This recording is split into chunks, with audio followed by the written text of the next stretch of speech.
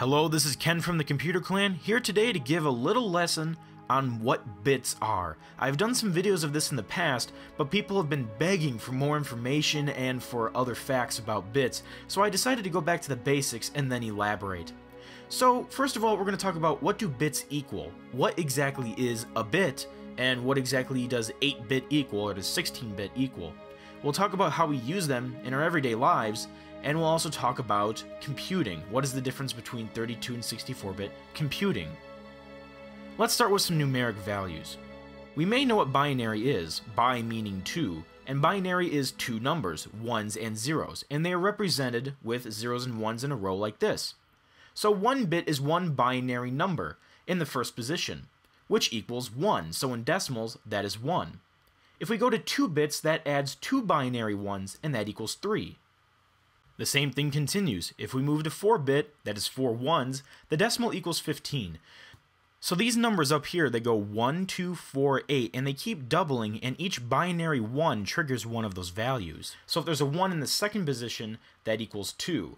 If there's a 1 in the third position, that equals 4. It just keeps doubling up the more ones you go to the left.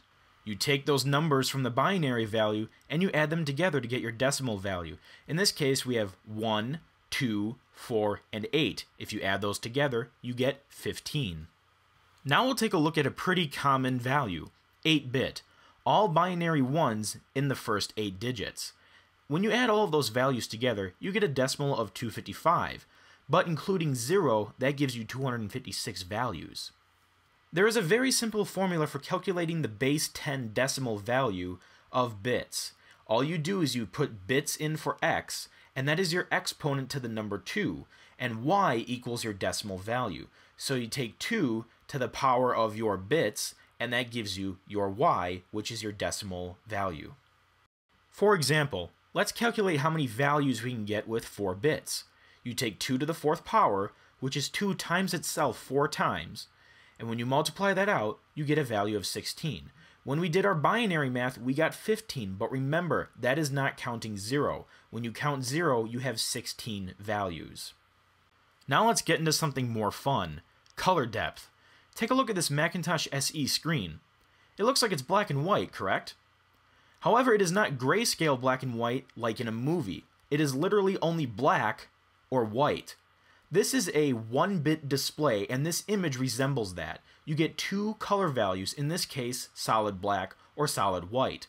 The images are rendered with these two color values by placing the dots closer to each other where they need thicker blacks, and further apart where they need grays, and in no places at all where there are whites. It is kind of like printing on a newspaper.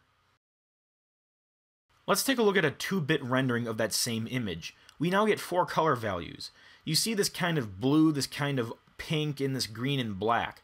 So the image can only be rendered with those four colors because the 2-bit addressing only has four values.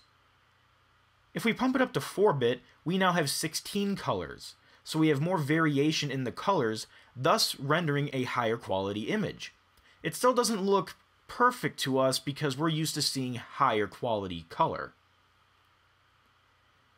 Here is an 8-bit rendering of that image. That is 256 colors. As you can see, it is pretty darn perfect, and you're probably not going to see much of a difference between true color and 8-bit while streaming this video over the internet.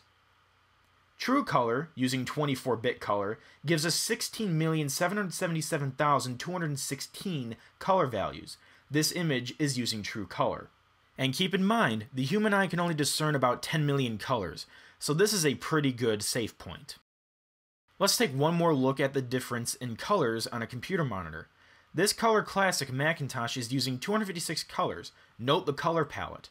When we switch to 16, you can see much fewer colors are displayed on the screen, and when we switch to 4, it is only using black and white because it would be pretty hard to get four colors that look good to the human eye to mix together. And pure black and white is 1 bit, only black and only white values mixed together. When we switch back to 256-bit, we get all the colors that this 8-bit display can produce. Audio depth follows the same basic principles, except it is used for audio, of course. Here's a square wave graph of 2-bit audio. It has four different quantization frequencies. In layman's terms, this can only produce four sounds.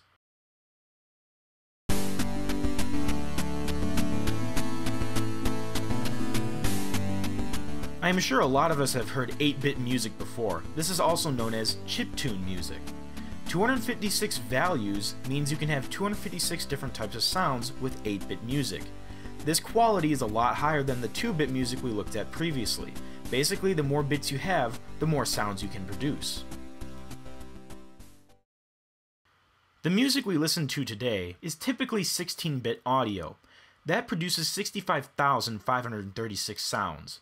So the quality is much better of what we hear today than what we heard back in the 80s, let's say, with 8-bit audio.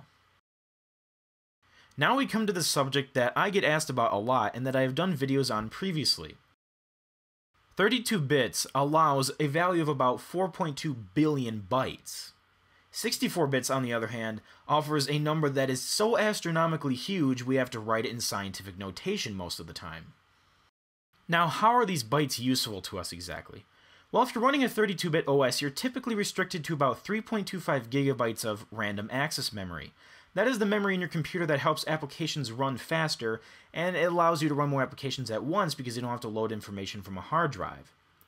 However, a 64-bit OS can support up to 16 exabytes of random access memory. That is about 17.1 billion gigabytes. So it is virtually unlimited since we have not created personal computers that use this amount of RAM, but supercomputers could really use this type of space, especially in the future. To put it simply, more RAM results in faster multitasking and less disk activity. The RAM can act way faster than the hard drive can, and then when you do that, you can load things much faster than having the disk constantly go back and read information. So maybe you're using an older system, or you're not even sure what you're using exactly, and you want to find out how you can make your computer faster, or you want to find out what type of architecture you're using. Essentially, to have the 64-bit experience, you need a 64-bit CPU, a 64-bit OS, and it's recommended you have over 4 gigabytes of RAM. If you are a Mac user and you have a processor that is an Intel Core 2 Duo or up, you're already set to go. You have a 64-bit system. If you are on Windows, check that your CPU has 64-bit architecture and check what version of Windows you have installed. Microsoft provides 32 and 64-bit versions of Windows. You can find out more information in the System panel in your Control panel. I hope you enjoyed this video, and more importantly, I hope you learned something new. Please check the description for many more interesting things related to this topic. I have a video of a speed comparison of 32-bit versus 64-bit software. I have the photos uploaded so you can see the photos I showed during this demo for color depth. And I have sources leading to other information and the 8-bit music played during the video. That is all for now, and until next time, see you later.